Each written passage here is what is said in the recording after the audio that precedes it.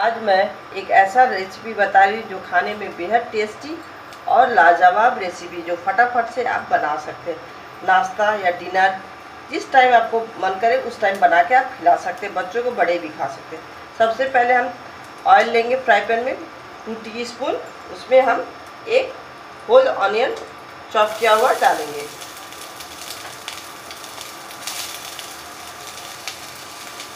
जब ऑनियन हल्का सा ब्राउन हो, तब आप जो भी सब्ज़ी, जो वेजिटेबल आपके बच्चे नहीं खाते खासकर, वो सब्ज़ी को फाइन चॉप करें रफली चॉप फाइन इसमें मिक्स इसमें मिक्स करें, ठीक है ना? जितनी सब्ज़ी आप चाहें उतना मिला सकते हैं क्वांटिटी चार से पाँच टी स्पून रहेगा हर सब्ज़ी का, ठीक है ना? हर वेजिटेबल का। हल्का प्याज लाल हो गया है तो हम पत्ता गोभी, शिमला मिर्च, छोटी कटोरी से मैं बना रही हूँ, भर के।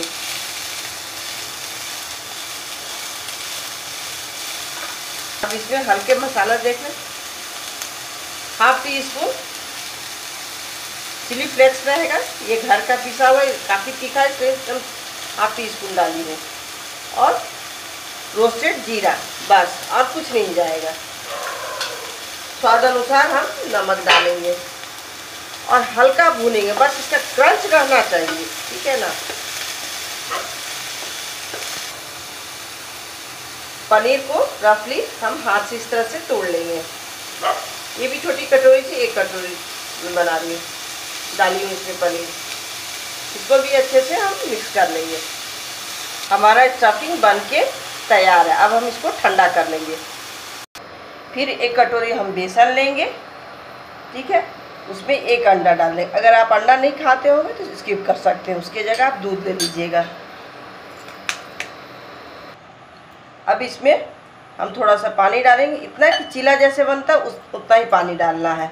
नमक भी स्वाद अनुसार इसमें हम डाल देंगे। अच्छे से हम मिक्स करेंगे अंडा को। अगर आप अंडा नहीं खाते हैं, उसके जगह आप दूध से मिक्स कीजिएगा। दही नहीं, दूध से।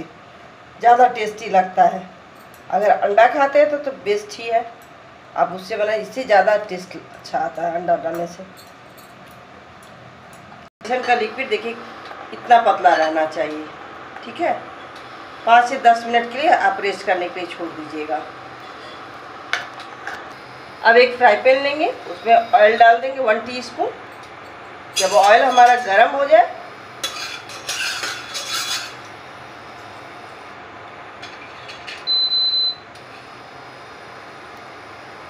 ऑयल जब हमारा अच्छे से गर्म हो जाए, तभी हम चिला का बैटर इसमें डालेंगे।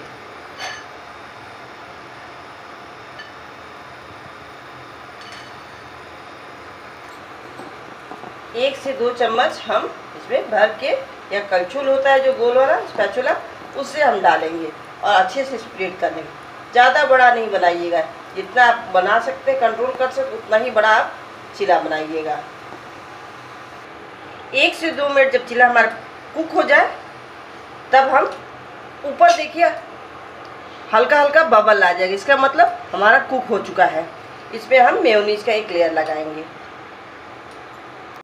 ये रेसिपी ऐसा है जो हर कोई खाना पसंद करे। बच्चे बहुत शौक से खाएँगे पिज़्ज़ा वगैरह छोड़ के। ये एकदम टेस्टी हेल्दी और डिलीशियस एक बार ज़रूर ट्राई कीजिएगा। अगर आपको पसंद आए तो प्लीज़ लाइक एंड सब्सक्राइब और शेयर भी कीजिएगा।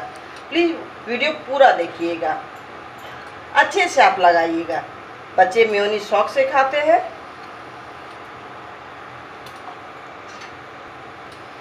इस पर आप चाहें तो कैचअप डाल सकते हैं, मैं पिज़्ज़ा स्प्रेडर डाल रही हूँ। आप कैचअप भी डाल सकते हैं। एक लेयर इसका भी डालूँगी। अब हमारा जो सब्ज़ी का स्टफिंग है, उसको बीच में थोड़ा रखेंगे। बहुत ज़्यादा नहीं स्टफिंग डालिएगा। ये स्टफिंग इतना टेस्टी है कि आप ऐसे ही खा जाएँगे। जब हमारा स्टफिंग अच्छे से हो जाए, तब हम इस तरह से टेम्परेचर एकदम लो रखिएगा। इस तरह से एक साइड से फोल्ड करेंगे, फिर दूसरे साइड से भी इसी तरह से हम फोल्ड करेंगे।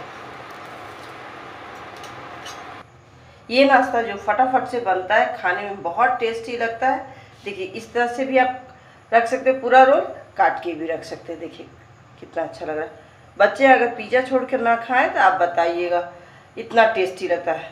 आप चाहें तो ये जो फ्राई किए हम सब्ज़ी उसको भी रख सकते हैं प्लेट में। बहुत ही खाने में टेस्टी मेरे बच्चे तो ऐसे ही खा जाते हैं।